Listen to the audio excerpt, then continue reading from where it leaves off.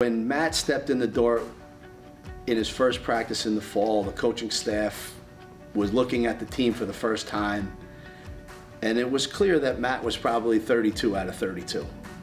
Um, but every day after the end of practice, he asked me, you know, Coach, what do I need to work on?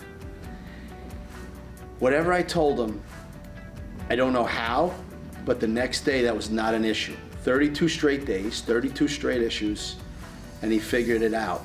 Uh, and he exceeded the expectations. His development was was actually something that was, uh, uh, I don't want to say rare, but it was.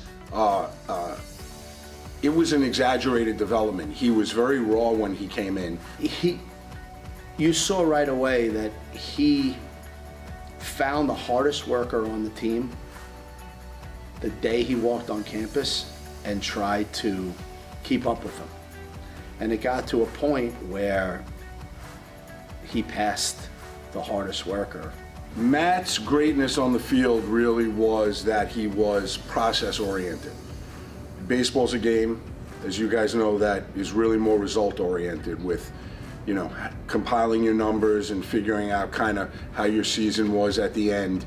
But Matt was really one of the few guys that was more process oriented.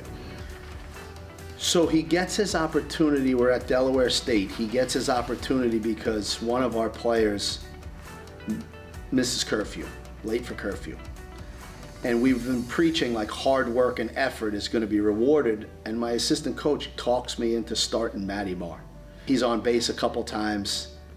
Uh, too many positive things happened in the game with him being in it.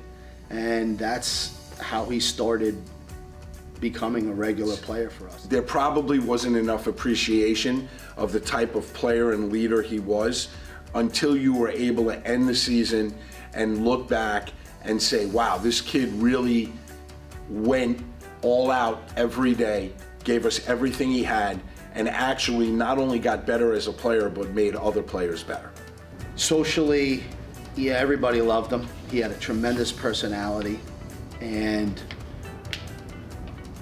when everybody when everybody has 24 hours in their day, somehow Matt had 36 hours in his day to accomplish everything that he wind up wound up accomplishing, you know, in his four years here.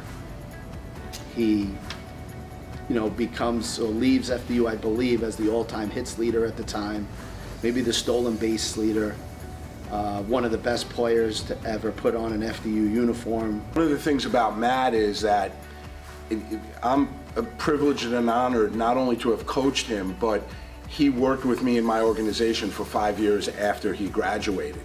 And the thing that I tell people about Matt is that he's really what I call a renaissance kid. It is my honor and pleasure.